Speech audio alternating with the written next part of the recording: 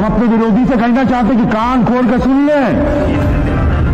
ब्राह्मण न कभी झुका था, न कभी झुकेगा। ब्राह्मण सर्वोच्च था, सर्वोच्च रहेगा।